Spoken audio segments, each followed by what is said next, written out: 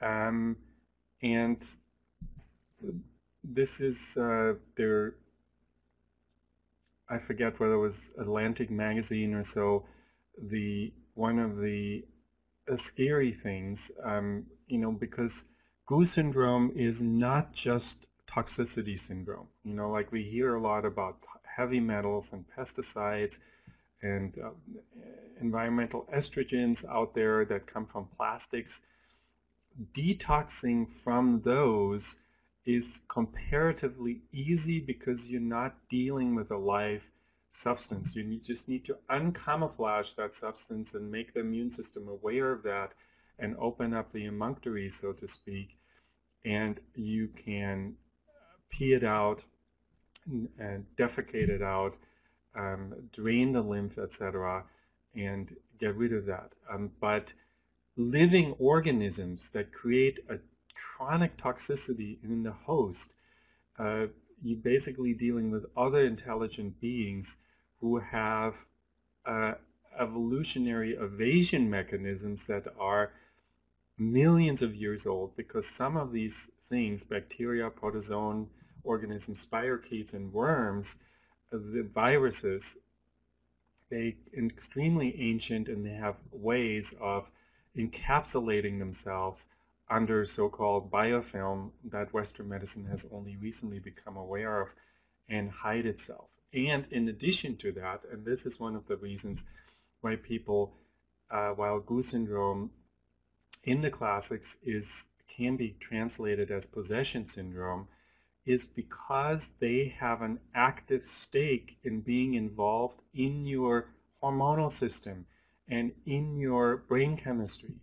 And because they, um, and through that endocrine axis and brain chemistry axis, they, they are in the driver's seat. They steer your cravings. They steer even your emotions because certain emotional outbursts, you know, just like we have sudden sugar cravings, well, it's not that your body says, do something good for me, it's the parasite, and there's lots of them. Um, and when you're talking about parasites here, it means chronic bacteria that are chronic now, uh, viruses that are chronic, spirochetes that are chronic, yeast that is chronic, um, etc.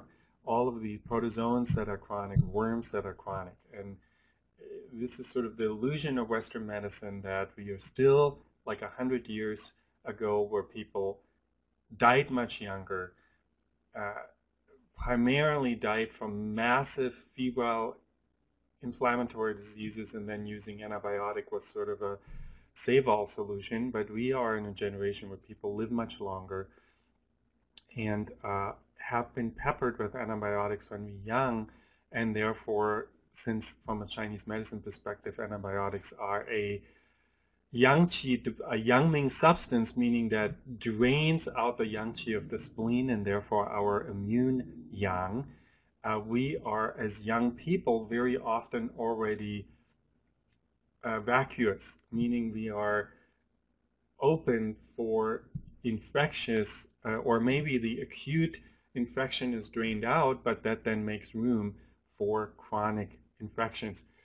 Not just viruses like the Epstein-Barr virus, not just spirochetes like um, malaria and Lyme disease, but also to things that we thought, you know, can be just be drained by antibiotics like streptococci or staphylococci. And uh, even those I find in, in patients are often chronic in nature and often the cause of autoimmune disease because there's this chronic strep infection that was only suppressed by antibiotics and is now contributing to this goose Lyme uh, that is literally possessing a hollowed out tree trunk that the patient is manifesting and cooperating, collaborating with viruses and spirochetes and yeasts that then kind of um, kind of hollow out the host and, and, and run the system, including our emotional responses. It has been shown that certain parasites can thrive off the biochemicals that we secrete when we get angry. So sometimes it's you know, people feel possessed because all of a sudden they're, they, for no reason, they fly off the handle. Well, just like parasites can give us sugar cravings, they can give us um, certain cravings uh, to, to fly off the handle so that they feel better for a while. And so this can be an extremely destructive syndrome, while in ancient times this was primarily a situation where we can say um, tropical jungle disease. 2,000 years ago in China, 3,000 years ago in China, people died from snake bites. They were ripped apart by tigers. And they died from, they were ravaged by febrile diseases like malaria and other uh, dengue fever, uh, Q fever, etc., those types of things. And um,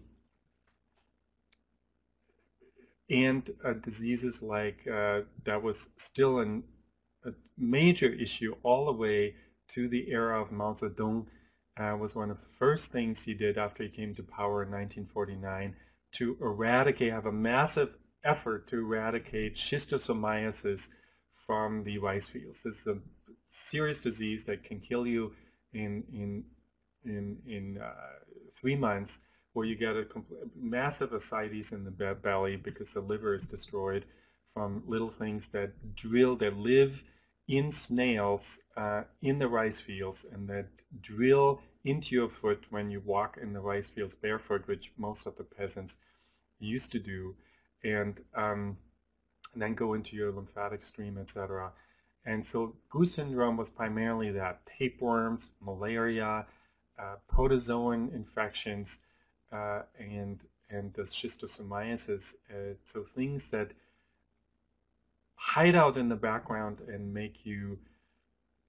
Uh, but in modern times, it is more things like chronic candidiasis, chronic Epstein-Barr, AIDS, uh, Lyme disease, those kinds of uh, things. And I find particularly that a lot of autoimmune diseases also have that because from my perspective, and I think we already did a special, or if we haven't done that, then we will on uh, at ProD about the treatment of autoimmune disorders, which get more and more common. It is not that genetically the body decides to all of a sudden do crazy things, but autoimmune problems are always an overreaction to an underlying threat like chronic and invisible guerrilla warfare-like infection in the body. Very often of the nasty kind like spirochetes and uh, severe viruses. For more information on this or other ProD Live, distance or online courses, please visit www.prodseminars.com.